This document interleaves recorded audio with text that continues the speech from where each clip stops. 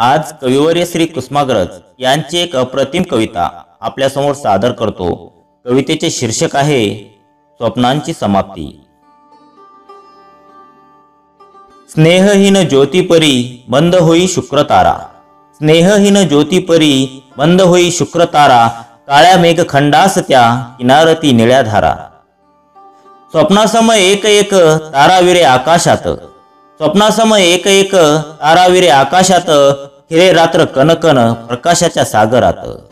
काढसके गळ्यातील तुझे चांदण्याचे हात काढसके गळ्यातील तुझे चांदण्याचे हात क्षितिजाच्या पलीकडे उभे दिवसाचे दूत. रात पाखरांचा अर्थ नादनच कानी पडे. रात पाखरांचा अर्थ नादनच कानी पडे. संपूर्णी भावगीत झोपलेले रात किडे. पहाटेचे गार वारे चोरट्याने जगावर. पहाटचे गार वारे चोरट्याने जगावर येती पाय वाजतात वाळलेल्या पानावर. शांती आणि विषन्नता दाटलेली दिशातून.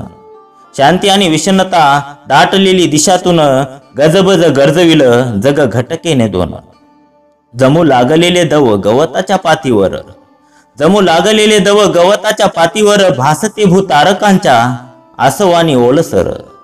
काळसके गळ्यातील तुझे चांदण्याचे हात काडसके गळ्यातील तुझे चांदण्याचे हात क्षितिजाच्या पलीकडे उभे दिवसाचे दूत. प्राजक्ताच्या पावलांशी पडे दूर पुष्परास.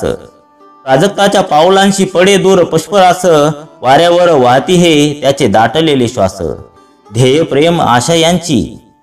ध्येय प्रेम आशा यांची होतेसे का कधी पुरती? वेड्यापरी पुसतो या आम्ही भंगणाऱ्या मूर्ती. खळ्यामध्ये बांधलेले बैल होणी या जागे. खळ्यामध्ये बांधलेले बैल होणी या जागे. गळ्यातील घुंगरांचा नादकाने येऊ लागे. आकृतीना दूरच्या त्या येऊ लागे रूप रग्न आकृतीना दूरच्या त्या येऊ लागे रूप रग्न हालचाल कुजबुज होऊ लागे जागोजाग. काढसके गळ्यातील तुझे चांदण्याचे हात. काळसके गळ्यातील तुझे चांदण्याचे हात क्षितिजाच्या पलीकडे उभे दिवसाचे दूत. होते म्हणू स्वप्न एक एक रात्र पाहिलेले.